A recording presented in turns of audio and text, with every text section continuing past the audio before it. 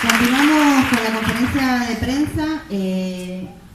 eh, disponemos ahora de unos minutos para que los periodistas le hagan las palabras, que, las preguntas que crean pertinentes a la abogada Viviana Beichel y luego eh, una autoridad